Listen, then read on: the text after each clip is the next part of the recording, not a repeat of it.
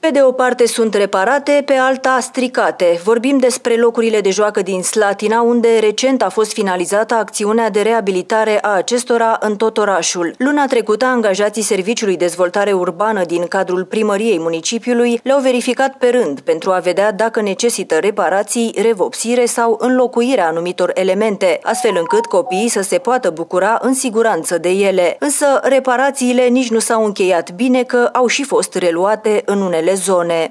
În proporție de 99% le-am remediat, adică vopsirea și repararea lor, dar uh, vin alte solicitări în curs. Odată ce am trecut, se, uh, uh, cum să vă spun eu, se fărâmă în continuare și trebuie reparate de la capăt.